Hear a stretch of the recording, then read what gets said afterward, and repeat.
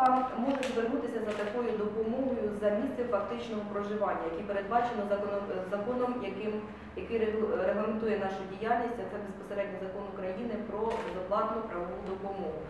Відповідно до цього закону особа може звертатися за місцем фактичного проживання е, в будь-який, е, тобто відповідний центр, один із цих чотирьох, який Ігор Володимирович, якщо це стосується Полтавської області, назвав. Чи це е, перший, чи другий, чи центр Кременчуцький, чи Лубенський центр.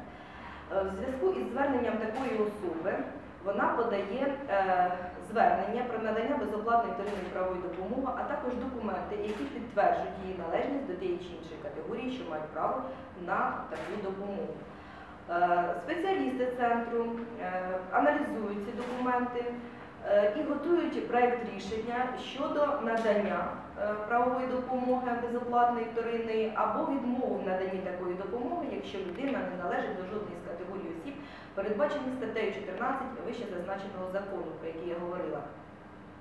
В разі, якщо людині е, така допомога відповідно до законодавства передбачена, приймається рішення про надання безоплатної вторинної правової допомоги, і призначається адвокат.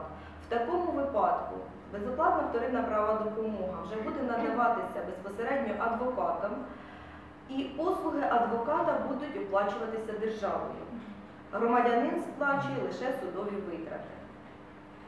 Звісно, що е, закон про безоплатну правову допомогу було прийнято ще в 2011 році, і з часом в е, країні відбулися зміни, і також закон потребує відповідних змін.